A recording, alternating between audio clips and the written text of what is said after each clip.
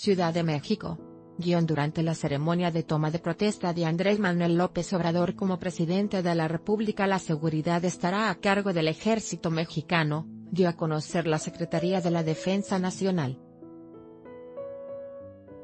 Antes, a más tardar el próximo 30 de noviembre, la Sedena y la Secretaría de Marina emitirán una normativa para reintegrar a sus filas a los elementos hoy asignados al Estado Mayor Presidencial https www.yucatan.com.mx barra México barra López Obrador Estado Mayor Presidencial se irá a Los Pinos según informa Excelsior en su sitio web, de acuerdo con información proporcionada por un alto mando de la Sedena, la decisión de AMLO de desaparecer el Estado Mayor Presidencial, EMP, se acatará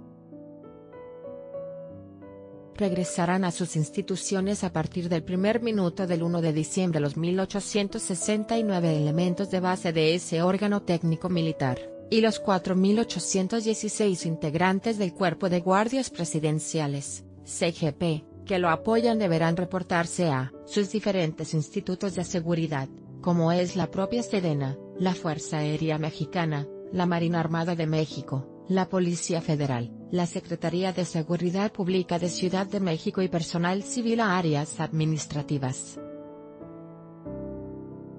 Una vez transcurrida la ceremonia de transmisión de poder en la Cámara de Diputados, la Secretaría de la Defensa Nacional estará a disposición de la Presidencia para definir si durante la nueva gestión seguirán siendo responsables de la seguridad de los dignatarios extranjeros que visiten nuestro país. Para la ceremonia del próximo 1 de diciembre se espera la presencia de cuando menos ocho jefes de Estado, y decenas de representantes de otras naciones del mundo. Visitantes confirmados Marcelo Ebrard, propuesto para ocupar la Secretaría de Relaciones Exteriores, informó en días pasados que han confirmado su asistencia el rey de España Felipe VI, el vicepresidente de Estados Unidos, Mike Pence, y el primer ministro de Portugal, Antonio Costa. Además, los mandatarios de Perú y El Salvador, Martín Vizcarra y Salvador Sánchez Serén, respectivamente.